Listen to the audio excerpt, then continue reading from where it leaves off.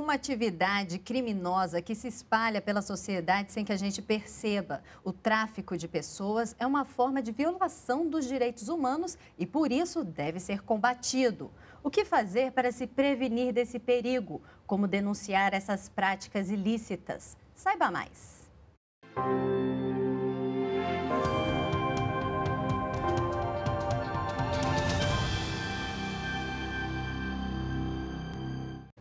Para nos ajudar a tirar dúvidas sobre tráfico humano, convidamos Renata Braz, coordenadora geral de enfrentamento ao tráfico de pessoas do Ministério da Justiça. É um prazer recebê-la.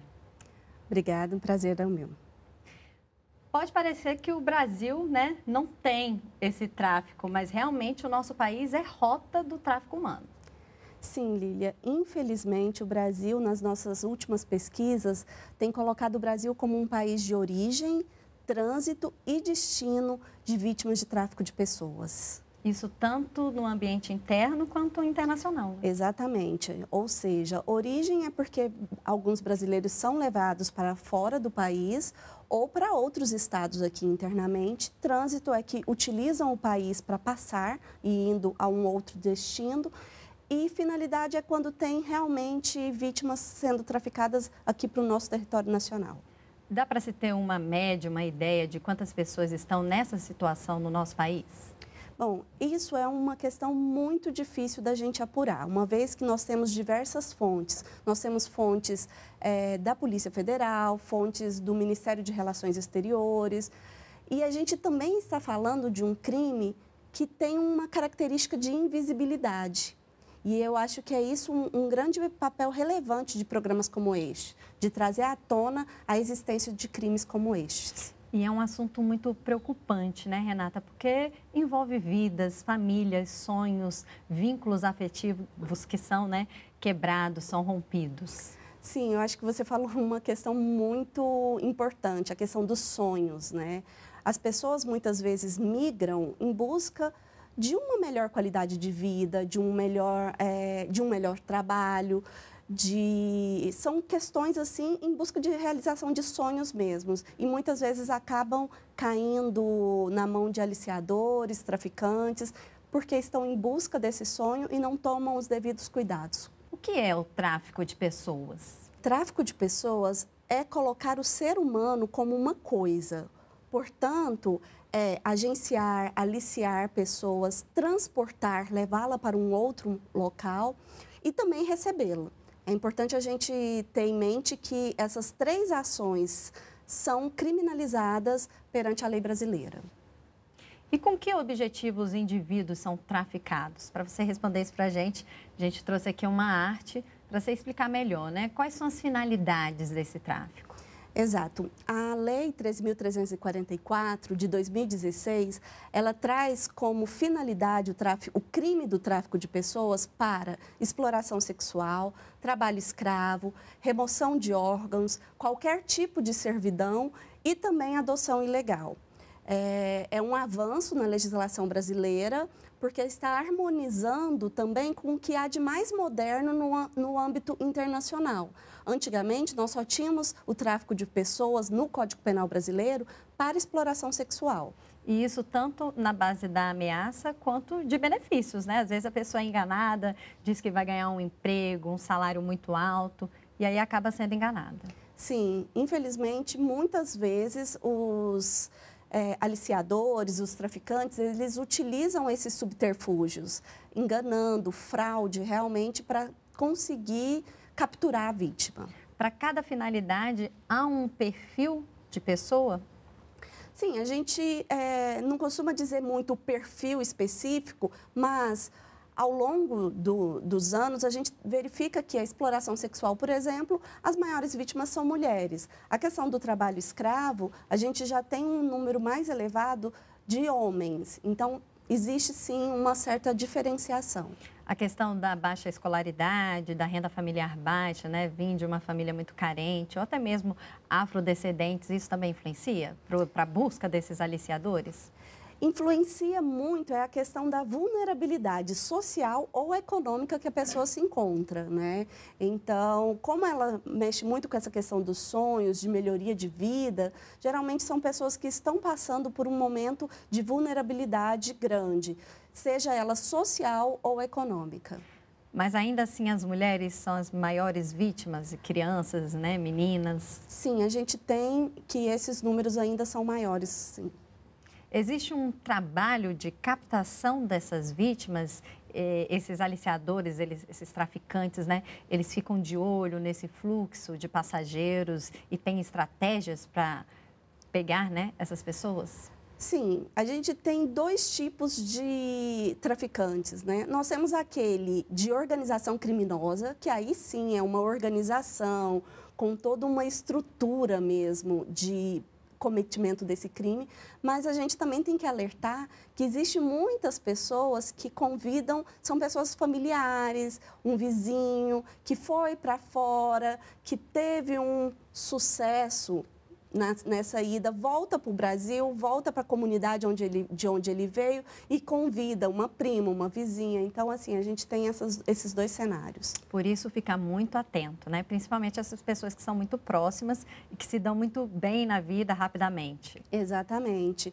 Porque muitas vezes, nessa questão, o que, que acontece? A pessoa, ao chegar no local, ela recebe um, um outro tipo de tratamento. Na verdade, ela se depara com um outro ambiente do que foi prometido inicialmente.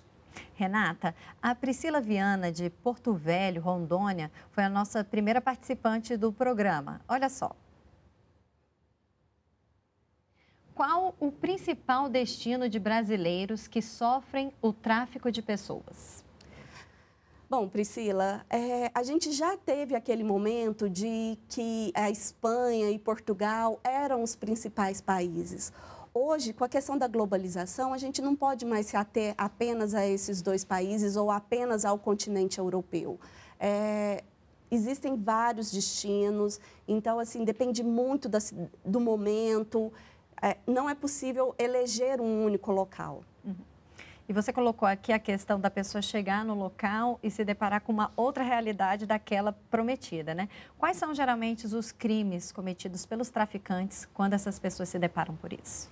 Muitas vezes é retenção de documento, documentação, principalmente quando ela sai do país. Primeira coisa, eles confiscam o passaporte da pessoa. E a pessoa está num país que ela muitas vezes não conhece a língua, uhum. não conhece a cultura, e aí dificulta ainda mais quando não passa a ter cárcere privado, sim, também, né? Ou seja, restrição mesmo do ir e vir. A tortura também. Também, as ameaças. E ameaças não só a pessoa. Infelizmente, a gente tem registros que ameaçam também a família que ficou aqui no país. Uhum. E aí isso é um grande complicador e justifica-se também as pessoas terem medo de denunciar. Agora, a Carla Oliveira, de São José do Rio Preto, interior de São Paulo, nos enviou a seguinte pergunta. O que induz as vítimas a se deixarem ser influenciadas a ponto de só perceberem quando estão fora do país? Bom, Carla, é bem, é bem complicado isso, porque, como eu vinha falando, mexe muito com a questão do sonho. E eu alerto que não é só uma questão para fora do país. A gente tem muitos registros de pessoas vindo da região norte, nordeste, migrando para sul e sudeste, tentando realmente melhorar de vida.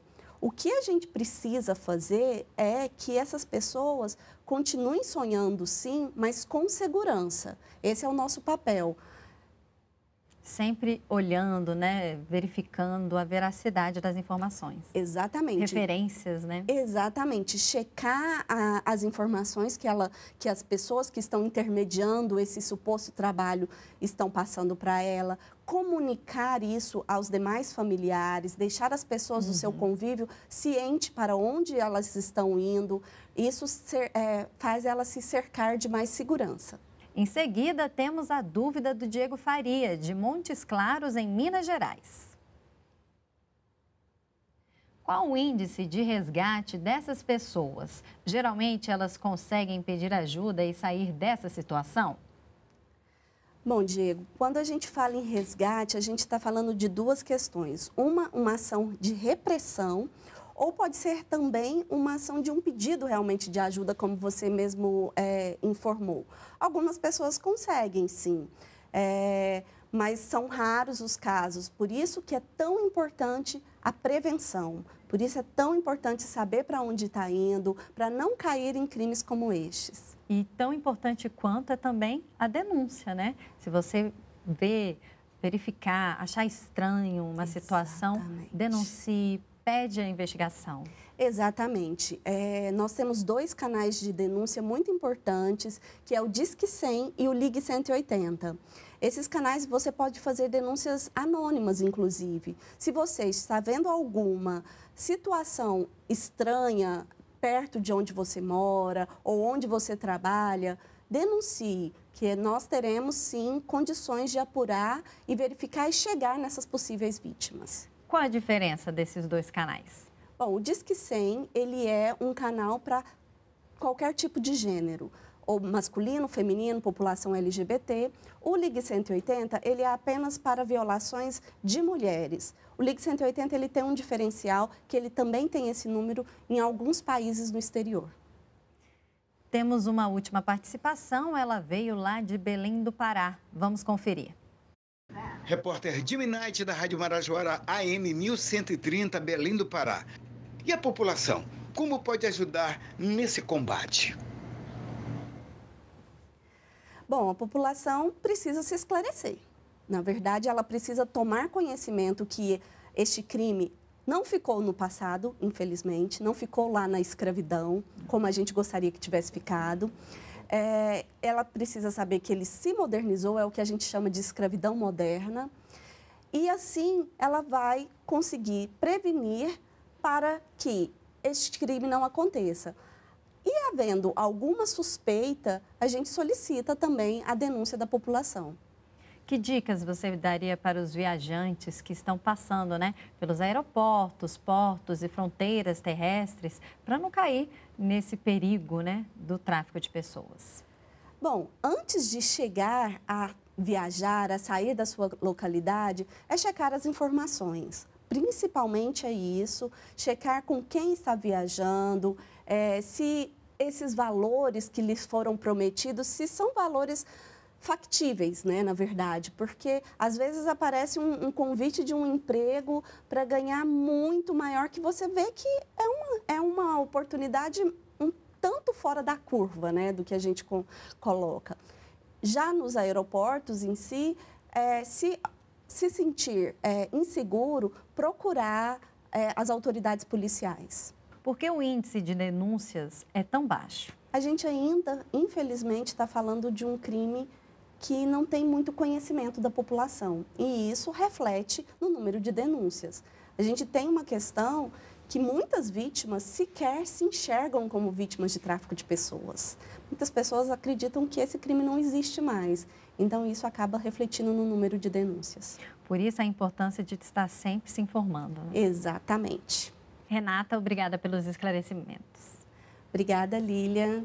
E para maiores conhecimentos sobre a campanha Coração Azul de enfrentamento ao tráfico de pessoas, eu solicito que todos entrem na página do Ministério da Justiça. Nós temos uma campanha mundial, na verdade, é uma campanha da ONU, que no mês de julho todos se unem para enfrentar esse crime que, infelizmente, acontece tanto no Brasil quanto nos demais países. Até uma próxima oportunidade. Obrigada. É isso aí. Gente não é mercadoria. Não negocie vida. Denuncie. Disque 100 ou ligue 180.